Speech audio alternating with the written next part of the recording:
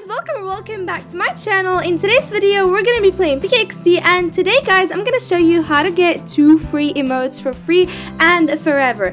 But before we start this video, don't forget to click that like button and subscribe to my channel if you haven't subscribed to my channel yet. And now let's just get started. So first things first, you're going to need two houses, okay? And these houses are the Halloween house and the Hello Kitty house.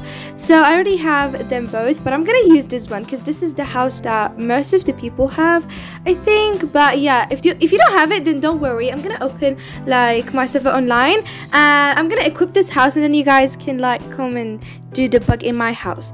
So uh, what you're gonna do is just make a recipe that makes you do that emote and I'm gonna show you guys the recipe. You can just make a burger, anything, any tasteful food. So I'm just gonna use this meat with this potato and look, we made a burger. So now what you're gonna do is just open this emote saving place and then you're gonna open it and when uh, this happens, you're gonna click on the burger to eat it, and then you're gonna do this emote, and it saves automatically on your emote saving place. And as you can see, when you click on it, you can just do the emote whenever you want.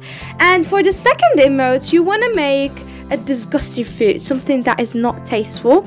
And I'm gonna try to make something disgusting. I don't know, guys, but yeah. Okay, I got the recipe, and it's you gotta do this lettuce plus some potatoes. Okay, so we gotta uh, get some potatoes, some lettuce, and then just put on fire.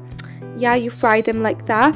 And then you want to do the same process. You open this, you eat this, and boom, you got that emote. And as you can see now, we got the both of the emotes for free and forever. You can use them whenever you want, but when you will.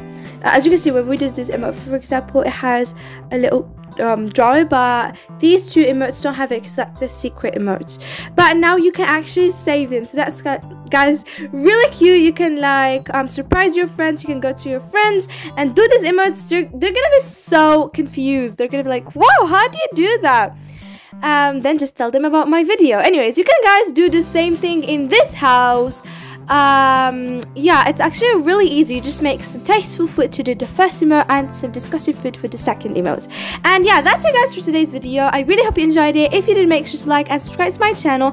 And that's it guys. Love you all so much and see you in the next one. Bye